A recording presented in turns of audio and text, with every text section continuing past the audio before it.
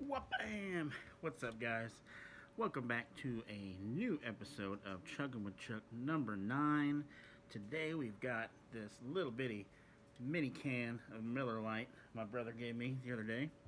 He was telling me all about it. He sent me a picture of it with a where he's like Andre the Giant hands, and I thought that's pretty awesome. And uh, when I was at his house the other day, he gifted me one of these, so I thought and he had mentioned, you know, making a video for it, and I thought, perfect idea, perfect timing to do it.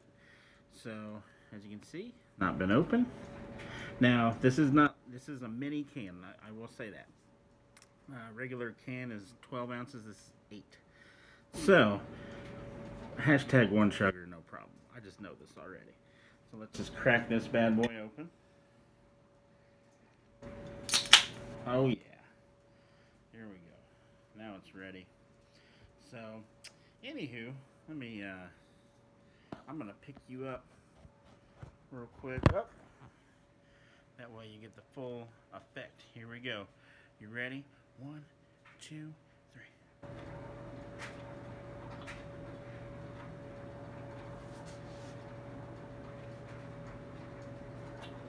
Oh, God.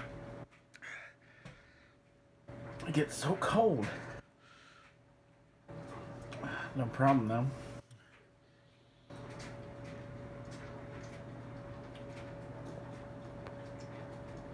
Oh, that last little bit was just foam. Mainly foam. See, I'm trying to look at you right there. There's there's the camera. Anyways, well, okay. Beer is cold, guys. It gets cold. No haters. It just it does. It gets cold, and after a while, it's like, woo.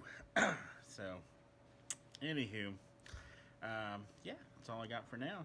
Um, hope you enjoyed that one. If you have any requests ever, just let me know down below. Down below.